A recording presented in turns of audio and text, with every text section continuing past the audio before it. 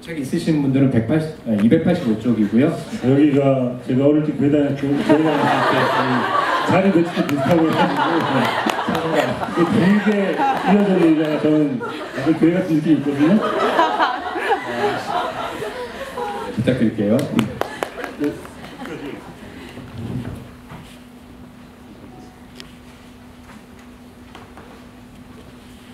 무언가 만드는 일은 현실을 껴안는 일이다. 창의적 인간에 대해 오랫동안 연구했던 미하일 칙센트 미하일은 보다 나은 삶을 위해서는 우리의 삶에서 잘못된 것을 제거하는 것만으로는 충분하지 않다. 우리는 왜 살고 있는가? 창의성은 이 질문에 대한 답이 될 수 있다.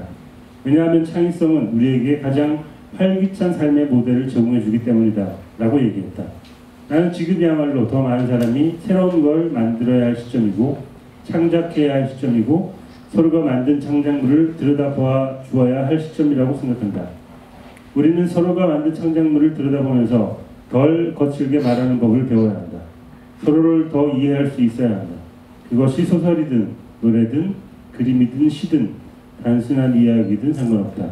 무언가를 만들고 결과물에 대해 서로 이야기해보면 무언가 변할 것이다.